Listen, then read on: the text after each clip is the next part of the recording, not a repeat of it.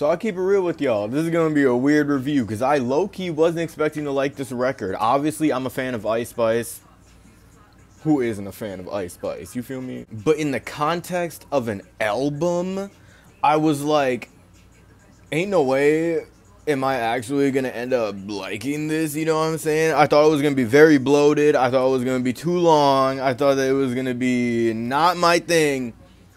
But surprisingly, this album is 10 tracks, all killer, no filler. It is exactly what I like. It's 23 minutes, and low key, a lot of people aren't liking this. And I wasn't I wasn't thinking that I was going to either, but I low key love this album. Now, Riot carries most of this record. Riot's production is fantastic on this record, and and they carry.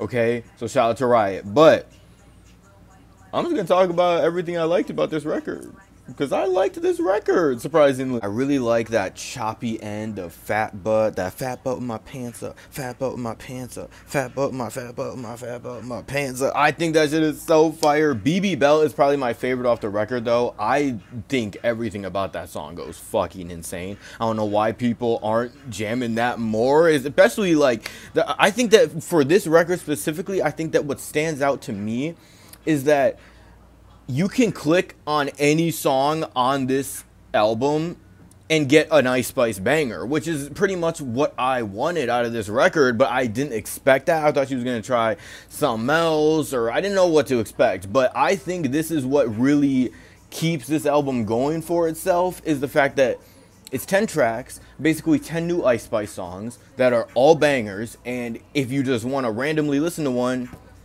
you can just hit it kind of in the way of like if you want to watch some family guy you don't have to watch the episodes in order you know what i'm saying? You can just watch one that might be hella funny. But these are all pretty good songs bro. I also love the hook in papa the um he got a stupid bitch and she left her too because i'm a cooler bitch. So, like i love that bro. Uh, the only thing i didn't really like is like the features on this album. I think gunna brings nothing to his feature on bitch i'm poppin but i love the chorus on Plenty Sun I like when Ice Spice gets a little freaky, bro. Like she be rapping about shit a lot, but when she says like, "Oh, like I'm dating someone who's like significantly older than me" or something like that, like I love a nigga with hella felonies. I love when she's just like sprinkling in some crazy shit, you know, because a lot of normies be listening to her. So when she sprinkles in that crazy shit, I really appreciate it. I think that the uh the beat for "Did It First has fucking heroin in it, bro, and it also made me like a Central Cee verse. So there's that. But it all comes down to the instrumental, bro. The instrumental on Did It First is probably my favorite instrumental on the record. Like I said, I think that's produced by Riot. I think Riot produced this, entire record.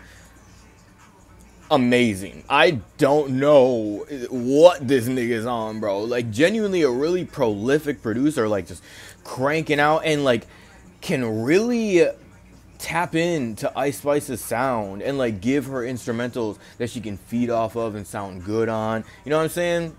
I think that's underappreciated. I think Travis's appearance on Oh Shit is pretty good, you know what I'm saying? Pretty par for the course for him. But another one of the standout moments for me is Gimme a Light, where Ice Spice pretty much sounds like she's trying to beat the fuck out the beat, bro. Like, I think it's so funny. She's yelling, she's kind of off beat, kind of all over the place. I think it's so funny. I think it's so good. I've heard a lot of criticism about this record that, like, on a lot of these tracks, it sounds like she's not even trying. Like, her delivery is so monotone monotone and boring and whatever. I just think that's part of her personality. I think that's just part of her like don't give a fuck like nonchalant attitude and I love moments like Give Me a Light where you get the opposite of that and she's just turning the fuck up and it sounds weird as hell. I would love to see more of that in the future because it's so fucking weird. I even thought that TTYL was a banger to end off the record, you know what I'm saying? She didn't try to go in like a weird like like sentimental direction or anything like that on the closer. She knows what we want and she gave it to us, bro. 10 tracks,